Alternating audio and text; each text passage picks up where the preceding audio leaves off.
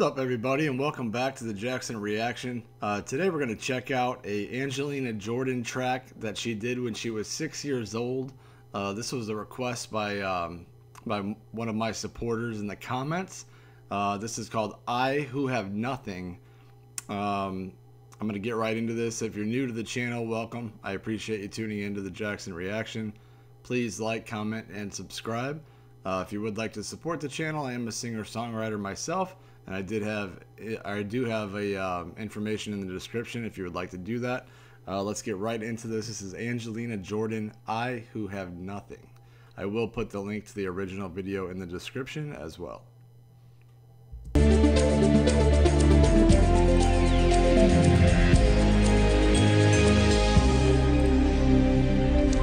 Velkommen til Lørdagsmagasinet. Åtte år gamle Angelina sjarmerer en hel verden. Selv blir hun så rørt av en annen jente at hun alltid synger barføtt.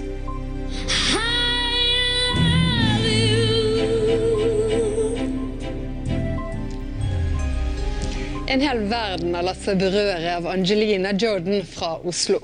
I går gikk åtteåringen videre til direktesendt delfinale i Norske Talenter, og her får du forklare put subtitles on, but they're not available for this video, just so you're aware. på hvorfor Angelina alltid går barføtt på scenen.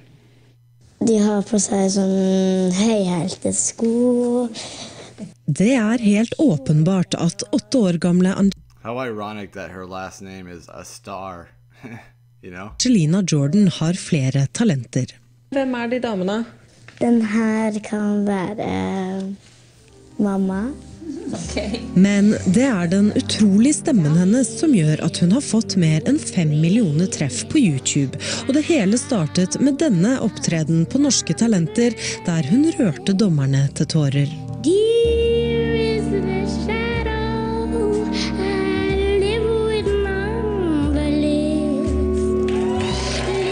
Og nettopp dette klippet vakte internasjonal oppmerksomhet. CNN for eksempel, og Time Magasin. Mange store nyhetsbyråer har omtalt og skrevet om henne. At eh, jeg har en spesiell stemme, og at uh, voksen. Angelinas talent ble oppdaget tidlig. Da hun var bare halvannet år gammel, sang hun til Whitney Houston.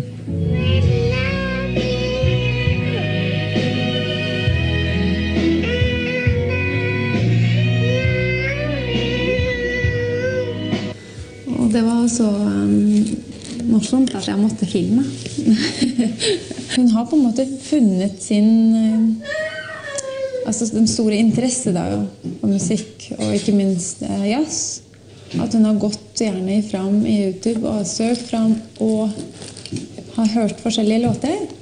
Og har funnet sin stil. Så skal vi gå til YouTube. Sånn. Her er det Og her finner hun også et opptak av seg selv fra Kulturskolen i Oslo, der hun imponerer med en av sine store jazzfavoritter.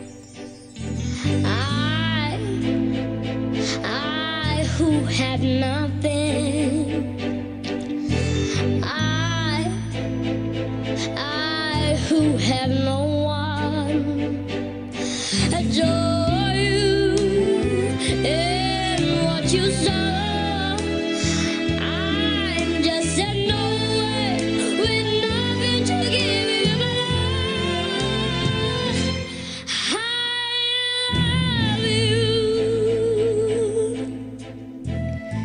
Angelina og familien har bodd flere år i utlandet, og hun har en spesiell historie hun gjerne vil fortelle oss blant de barføtte skulpturene i Frognerparken.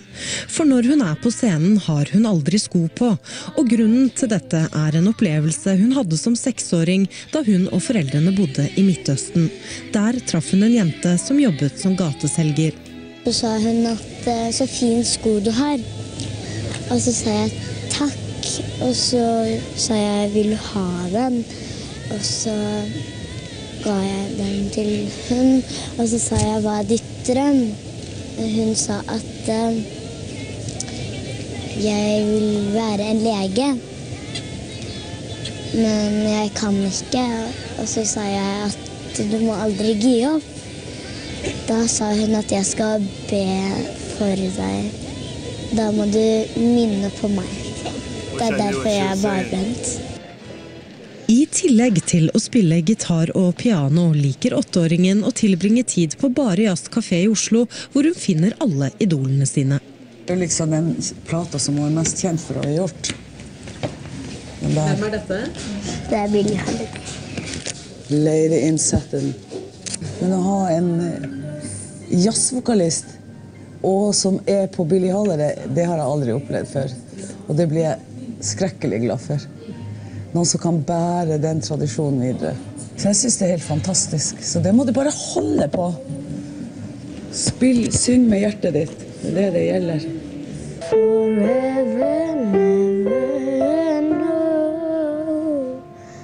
Det er veldig viktig for oss som foreldre å passe på at, eh, at hun har et eh, normal eh, oppvekst.